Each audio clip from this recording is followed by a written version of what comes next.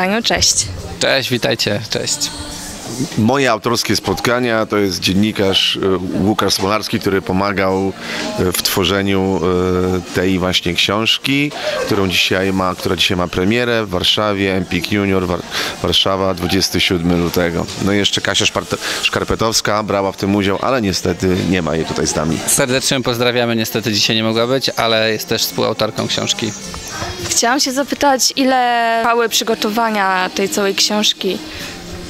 Chodzili za mną 10 lat. Niestety, no, co mam powiedzieć. Nie, ale taki żarcik był.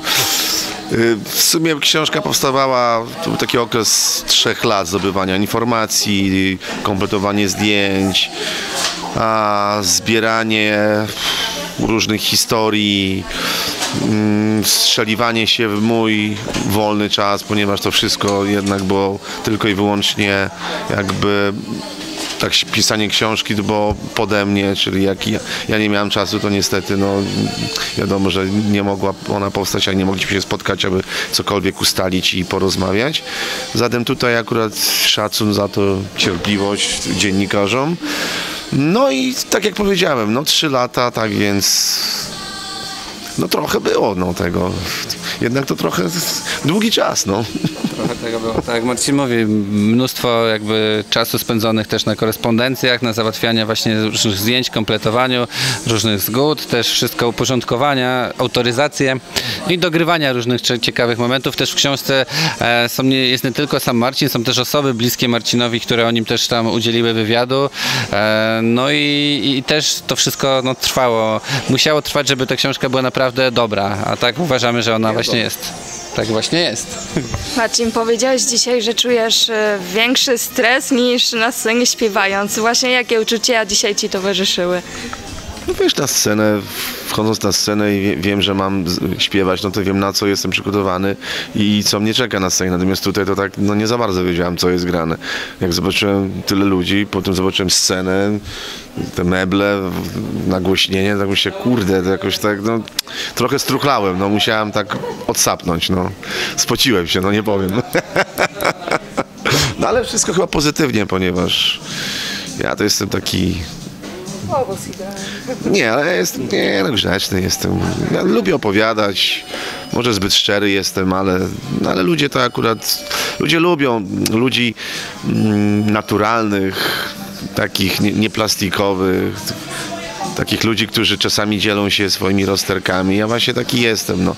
Za bardzo nie lubię się jakby uzewnętrzniać, no ale, ale czasami to pomaga w takich relacjach międzyludzkich. Czy w tym całym wywiadzie Rzeka, bo to, bo to, bo to jest mega obszerny wywiad, e, znalazły się takie pytania, na które ciężko ci się odpowiadało? My od razu sobie to ustaliliśmy z góry, że nie, ja od razu powiedziałem, że nie będę opowiadał na pewno zbyt dużo o rodzinie, nie będę tam pokazywał zbyt dużo zdjęć, w zasadzie żadne chyba nie ma zdjęcia z żoną. Jest jedno zakamuflowane, ale to ciekawe, czy ludzie będą wiedzieli, że to moja żona. E, tak więc tutaj akurat też wydawnictwo, jak i dziennikarze bo sobie Kasi i Łukasza poszli mi na rękę, zatem tutaj bardzo im dziękuję. No na pewno nie, nie, no nie wiem, no ktoś tam na pewno się doszukuje jakiejś sensacji, a coś tam, że gdzieś tam Marcin, coś tam, no na pewno za sensację mogę uznawać to, że nie wiem, trochę mi woda sodowa uderzyła do głowy, prawda, no bo tego nie można się wstydzić i to jest jakiś pewien okres, od którego nie można uciekać, więc to też jest w książce, no ale na pewno nie będę opowiadał o tym, nie wiem, jak biegałem nago po hotelu, bo to czegoś takiego nie było, nie? No ja też uważam to, co jakby wspomniałem tutaj na wieczorze autorskim, że jakby ta książka to jest właśnie pokazanie nie tylko disco polo, nie tylko Marcina e, jako osoby, która wychodzi na scenę i śpiewa, tylko człowieka, który przez 30 lat właśnie wytrwale, z uporem pokazuje ten talent w disco polo, wybrał sobie na początku taką ścieżkę i bardzo dzięki ciężkiej pracy jest tutaj, gdzie jest i przez 30 lat, codziennie, co roku praktycznie są różne utwory, powstają, um, cały czas Marcin jest obecny, gra 200 koncertów po 30 latach. To jest naprawdę no, fenomen. No i też w tej książce właśnie chcieliśmy pokazać, co dobrego właśnie można też wynieść, czy przeczytając, po, po przeczytaniu takiej książki, pokazując, jakim człowiekiem właśnie jest Marcin, jak ta praca ciężka spowodowała, że właśnie dzisiaj możemy tutaj siedzieć z Marcinem i podziwiać te 30 lat twórczości. Tak, i właśnie dzięki tej książce czy dzisiejszemu spotkaniu możemy poznać Cię, mogliśmy poznać Cię z zupełnie innej strony. I I dobrej, prawda? Oczy, oczywiście, że dobrej. I od jednej z czytelniczek, które zakupiły już Twoją książkę i czytały ją dzisiaj namiętnie, dowiedziałam się, że miałaś ksywkę Janosik i jeszcze jakąś, której nie pamiętam. Chciałam się zapytać, skąd one się wzięły? Janosik to była ksywka jeszcze z przedszkola, potem ta szkoła chyba pierwsza, może druga, góra, e, ponieważ miałem bardzo długie włosy. Moja mama po prostu postanowiła, że będę miał długie włosy, czasami mi splotła taki, jak ona to nazywała?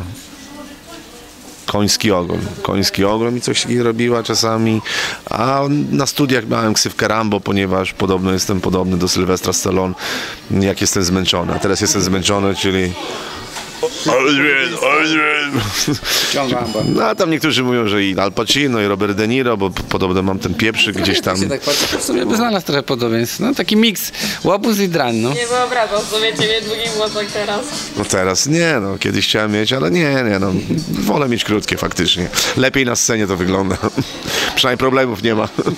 Widzę, że zmęczeni po całym dniu. Bardzo dziękuję za Nie ma problemu. rozmowę.